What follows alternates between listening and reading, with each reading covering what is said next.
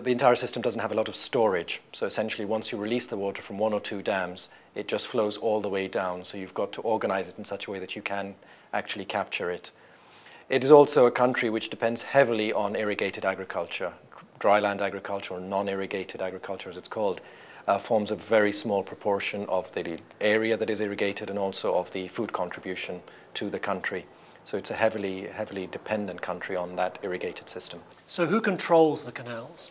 The, the canals themselves and irrigation per se is a provincial issue. So the country has um, four large provinces, uh, varying in size, and they have, and the provincial governments, as they are called, run the irrigation departments. Um, then large major water sector infrastructure is handled by a national institution that really was set up for, for, for the construction of the infrastructure, but then has now continued with the organizing of that so that there is um, there's less political sort of uh, conflict between provinces because they're supposed to take a slightly more um, balanced view that it has to be in the national interest.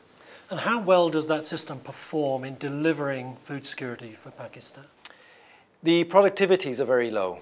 Um, and it, you could criticize it in many ways. Uh, the reality is that we've, we've inherited, there's a legacy issue that you have to acknowledge. It's, it's not as simple as just looking at the science. And that is that um, the system, uh, the, the Punjab, for example, which is the largest of the province, has relatively large landmass and very flat. So it's area that is very easy to irrigate from an engineering perspective. It doesn't take a lot to build a canal in it and that. So there is relatively scarce amount of water for the amount of land that you're trying to irrigate. So as a result of two, two factors, you, you end up with low productivity. And then once we introduced tube well technology and that became indigenized and relatively cheap, people have realized, well, here's another source of water. And so they're extracting that. And that's causing a lot of salinity problems in, in various areas. And then there's the, the perennial problem typical of, of these kind of things of maintenance and all, you know, it's the, what was described as the build um, and neglect and rebuild uh, vicious cycle. And we don't seem to be able to escape that either in terms of the infrastructure. And now people following the news will have seen, will have associated Pakistan perhaps a lot more with flooding than with drought. Does that flooding have an effect on the system? It, it certainly does. I mean, it comes back to this problem that we have, compared to other large river basins and things, the, the Indus Basin, we have very little um, storage capacity. What that means is that when you do get a flood, even though you have one large dam, uh, which is Tarbela Dam, you simply have to open the spillways and release the water. You can't afford to lose your dam. Uh, and that means the flood comes all the way down. So there is very little capacity beyond that point of attenuating the flood, of storing the flood and preventing a large flood wave from going down. And then, of course, it affects um, existing infrastructure. Uh, it floods fields, and so you, people lose that season's livelihoods. And if you're in subsistence farming, that, that is very, very serious indeed. So what's the main thrust of our research in Pakistan? What are we trying to understand better? We're, we're really, um, the, the, current project, that, which is the one that I lead, is really about trying to improve productivity. Um, so you start with, let's say, water productivity, how much food you grow per unit of water, and then land productivity per, per unit of land, and then livelihood.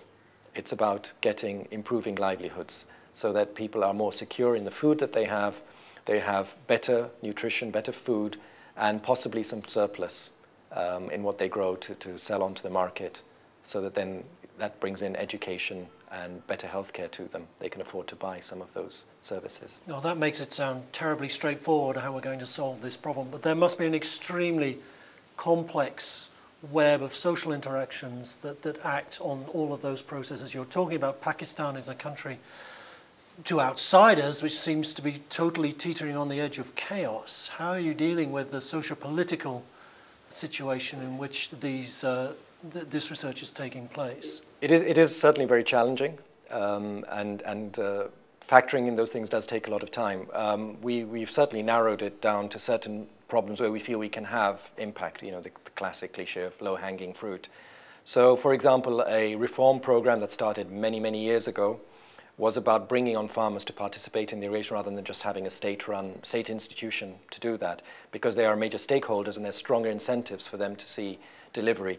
Um, we're, we're working, for example, at that level of trying to get the farmers strengthening their abilities by innovation of and bringing in new, new ideas and new products and, and taking advantage of new um, technologies, particularly in the ICT area, where it's, of course, now much cheaper to communicate over large distances, and Pakistan has a, a fairly well developed mobile phone network, for example. And um, to see if we can, through the farmers, make those changes, you know, building up the, the, the, through the farmer rather than supporting and building up, necessarily building up the capacity of the irrigation departments. And is there a gender aspect to this work? Um, there certainly is, um, which is rather typical of, of much of the work that we do. Um, we, we certainly are trying to, at the very least, not exclude anybody, um, sort of thing. But it is, it is hugely challenging. Um, it, is, it is like many places in the world, like, like Pakistan, uh, dominated by men. Uh, and it is very difficult, um, particularly in the much more conservative northern province, northwest province. It is much more difficult to engage women in the, in the things.